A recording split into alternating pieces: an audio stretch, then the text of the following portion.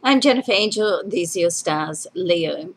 Now, most of the activity this week in the astral chart is happening in your solar 12th house. So, this is an area where you can really get in touch with your inner self and your soul level, and in certainly your intuitive uh, senses. It's a good time to plan and to really, you know, figure out what it is in your life that you want, what changes you want to make in your life, and, you know, make plans and reassess where you are, where you want to be, and how you're going to get there, okay?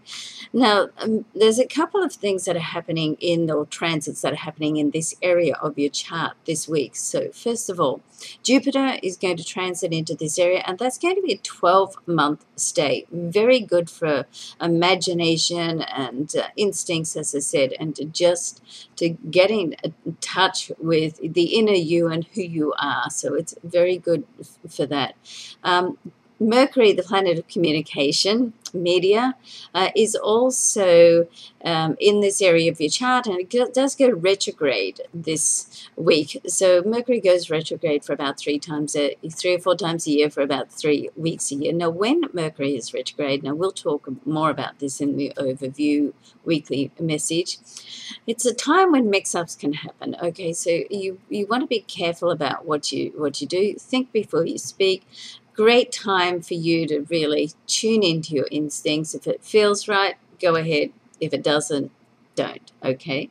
Pay attention to that.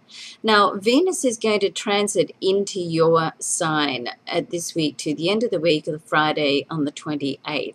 This is a great time for love. When Venus is in your time, I always think that, you know, Cupid is just that little bit closer. It's also, Venus that also governs uh, money, uh, uh, love and money and relationship. So um, it's a good time just to form relationships and get out there and network on a business level, socialize on a personal level. Okay?